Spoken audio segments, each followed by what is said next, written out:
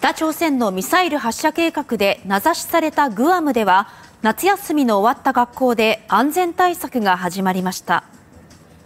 グアムにあるこちらの学校ではミサイルの脅威に備えてと学校独自のガイドラインを作成しました。